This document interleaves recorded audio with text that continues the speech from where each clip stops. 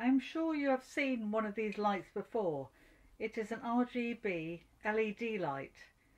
By varying the intensity of each of the colours, this single light can make many, many colours. But how was it done back in the day, before the invention of submersible LEDs?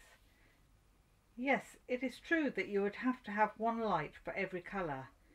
So instead of just one light, you would have three lights, one each of red, blue and green, and sometimes yellow, as shown in this picture.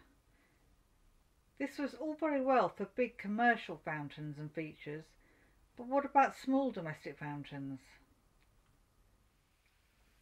Someone come up with the idea of a round flat disc which had coloured sections with a waterproof light mounted under the disc.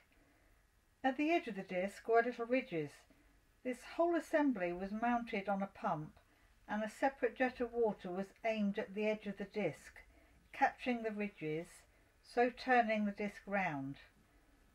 We have made an electric non-submersible version to show you roughly how it worked. I have recently found an old picture of the disc and pump.